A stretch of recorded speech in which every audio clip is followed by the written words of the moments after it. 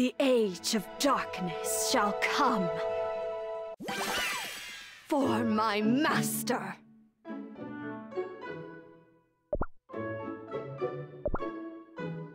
You will regret this transgression.